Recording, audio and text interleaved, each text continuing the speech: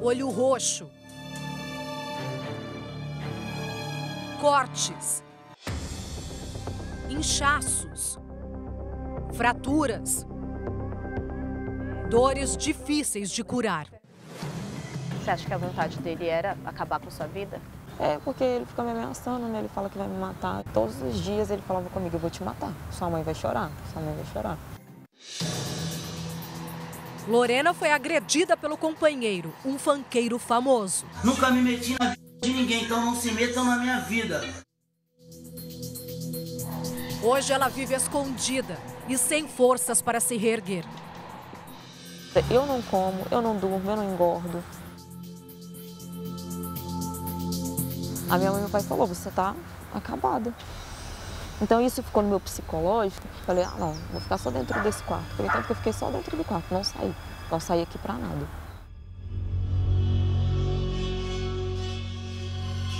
O MC também foi agredido dias depois de atacar a namorada. E está desaparecido desde então. As marcas deixadas pelo fanqueiro na jovem de 24 anos vão além do que podemos ver a olho nu. Eu não consigo mais me arrumar. Eu vejo as minhas fotos do Instagram e fico me olhando hoje e falo assim, não, quem que sou eu? Cadê aquela Lorena que vivia, que, tipo assim, todo mundo elogiava, falava que era bonita, que chamava atenção. E hoje em dia as pessoas nem me olham mais assim. Me olham com dó, perguntam se eu uso droga. Que tal então uma injeção de autoestima? A gente sente aqui degraus devido à fratura que aconteceu ao, ao apanhar do companheiro dela. O narizinho também com fratura, fraturado. Vamos iniciar, daqui a pouco eu mostro para vocês a nossa princesinha linda, amada, ainda mais linda. Doutora Cláudia é uma especialista renomada que entende perfeitamente até onde pode chegar um relacionamento abusivo.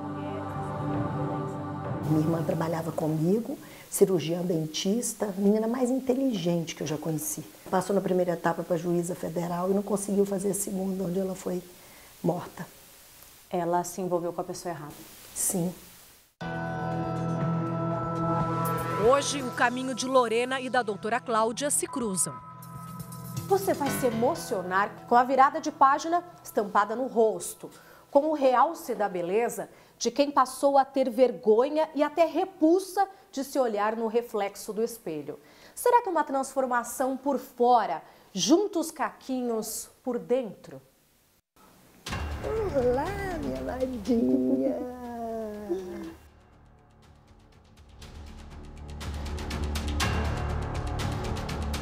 A Lorena entrou para uma triste estatística. A cada quatro horas, uma mulher é vítima de violência doméstica no Brasil. No fim de semana passado, ela veio de Minas Gerais para São Paulo encontrar o namorado. Kaique Monteiro de Almeida, o MC Magrinho. Nunca me meti na vida de ninguém, então não se metam na minha vida. Ao chegar no hotel, Lorena conta ter tido uma surpresa muito desagradável. Uma garota de programa aguardava o namorado dela na recepção. Lorena respirou fundo, ainda ofereceu de pagar os 600 reais do programa e dispensou a garota. Quando o MC desceu do quarto, os dois passaram a discutir. Uma discussão muito intensa que passou para as agressões verbais e depois físicas. Ele empunhou uma tesoura e partiu para cima da namorada. A sorte foi que um rapaz passava de carro viu tudo o que acontecia, estacionou, interveio e levou Lorena ao hospital. Você acha que se esse rapaz não tivesse passado, ele poderia ter chegado a fazer o pior contra você? Ah, sim, com certeza, porque ele estava louco, não estava... Em sã consciência? É, não estava na hora, assim, ele estava muito, muito louco mesmo. Então, assim, eu fiquei com muito medo. Já o agressor chegou à delegacia de cabeça baixa, acompanhado dos seguranças particulares. Magrinho, fala pra gente o que aconteceu, se importa? Dá só uma palavrinha. Depois de prestar depoimento, foi liberado.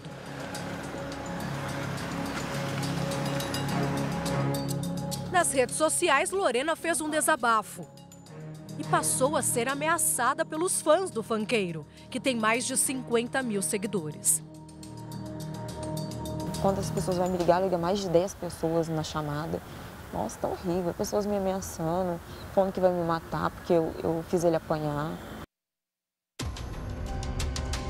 O MC, em contrapartida, foi alvo de agressões, supostamente de fãs do MC Kevin, por ter debochado da morte do cantor e também da maior facção criminosa do país a mão, ninguém vai gravar não. Levanta a mão. Ele falava o que queria dos outros. Tá lá sentando pro c... Deus que me perdoe. Magrinho, magrinho, deixa eu falar uma coisa. Água parada da dengue, filho. Né, né Bruninho? As discussões entre os dois artistas sempre existiram. Não preciso ficar postando nada, não. Nós é bandido. Ô, amigão, para de ficar mandando vídeo pra mim aí dentro do Uber, tá? MC Magrinho e Lorena namoraram por três anos e têm um filho de um aninho. Os dois se conheceram durante as gravações deste videoclipe. Esta de blusa roxa é a Lorena. Os primeiros meses foram de paixão, mas logo os espancamentos começaram. E segundo Lorena, não pararam mais. Você sabe quantas vezes você foi agredida por ele já? Nossa, muitas vezes, toda hora. Já Era perdeu toda- as contas? Uhum. E, tipo, eu tava assim, deitada, ele pegava meu celular, às vezes não tinha nada, ele mandava mensagem para minhas amigas e falava, você estava com ela, você estava com o velho. Nossa, era. E aí terrível. ele te acordava Uhum. com socos e pontapés. É, tinha muito tempo que eu não dormia. Eu emagreci muito, né? Muito, muito, muito mesmo. Quem vê minhas fotos fala, me vê hoje fala, nossa, ele acabou com você. A jovem, ainda por cima, cresceu em um lar violento. E não sabia como se desvencilhar desse cenário de dor. Meu pai, assim, ele é um pouco nervoso também. Meu pai é muito parecido com ele, muito. Ele não gosta que fala, mas meu pai é muito parecido com ele. Aí eu fico sonhando com ele e com meu pai. Eu fico sonhando que os dois estão morrendo, eu fico sonhando junto. Aí depois eu fico sonhando que eles estão me batendo. Ela não se reconhece mais. Nem lembra como era antes de passar por tudo isso.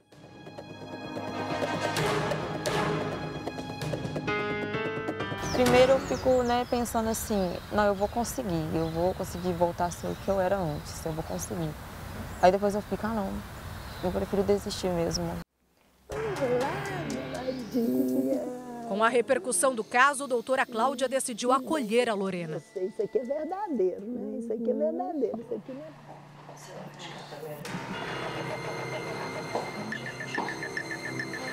A especialista em harmonização facial passou a ajudar mulheres vítimas de violência doméstica por causa da irmã.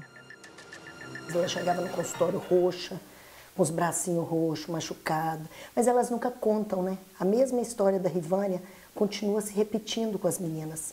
Porque elas falam a mesma coisa. Não aconteceu, eu caí na cozinha. Meu celu... Mentia, o celular está quebrado. Quem quebrou esse celular? Você acabou de comprar a segunda vez que quebra o celular. E no dia em que ele a agrediu de maneira fatal, como foi? Eu ia, ela ia atender comigo no consultório, foi num sábado de manhã. Eu passei lá 8 horas da manhã e ela não estava. O que, que ele fez com ela? Ma- com certeza, matou antes e jogou lá embaixo. Aí ele jogou da janela. Jogou da janela da varanda. Eu vejo a Rivânia em cada princesa do projeto. De lá para cá, dezenas de mulheres passaram pelas mãos de Cláudia. Não é nem a harmonização, é o carinho que ela tem com as meninas, sabe? Ver que tem alguém que vê que a gente tá ali precisando de ajuda. Ela harmonizou o meu rosto, né? Primeiro ela veio, antes da gente começar a transformação de fora, antes da gente ir pro procedimento, primeiro ela ajudou a curar a minha alma, a ferida que eu tinha na alma. Os procedimentos que ela faz nas pacientes saem de graça. O pagamento é de outra forma. Ela trouxe de novo a beleza que eu não enxergava em mim.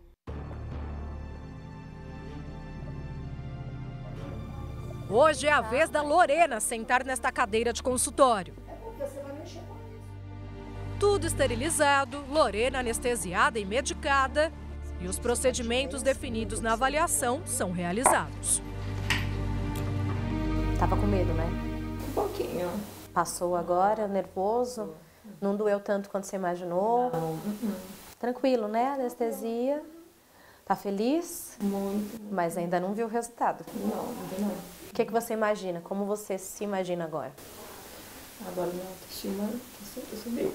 Já subiu sem nem se olhar? Uhum. Tô feliz. Eu também tô por você. Amanhã, então, a gente se encontra na Record TV para ver a sua transformação. Ai, super ansiosa.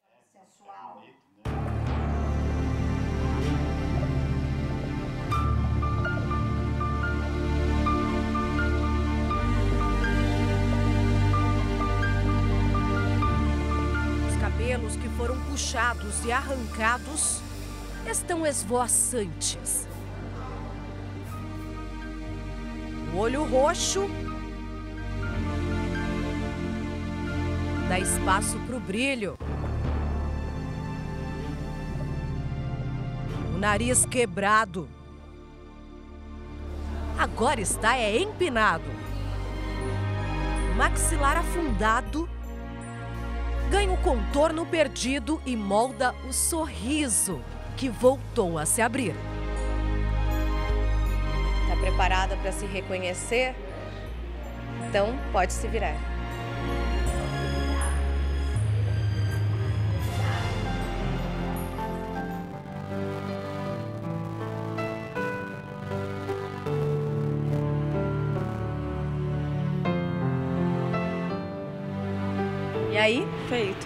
Tudo lindo. Se imaginou assim? Não. Fazia tempo que não se olhava para o espelho e se via como você falou que tinha saudade de se ver, como você era antes de tudo que você passou? Sim. Tô impressionada. Que mulher você enxerga agora? Uma mulher bonita, forte. É tudo maravilhoso. Olha. Me parece que sou eu. É você.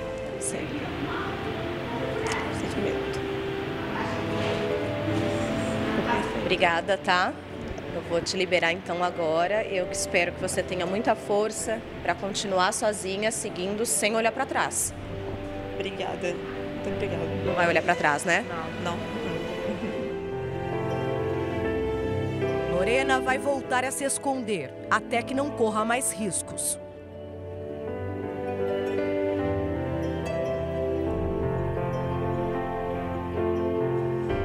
Daquela pancadaria generalizada, MC Magrinho desapareceu.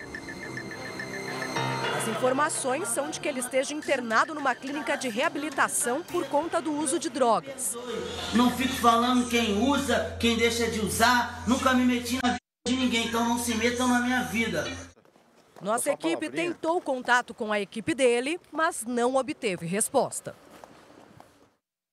Numa rede social, a produção do funkeiro compartilhou uma nota informando que ele se afastou temporariamente para cuidar da saúde física e mental e que em breve deve retomar a agenda de shows.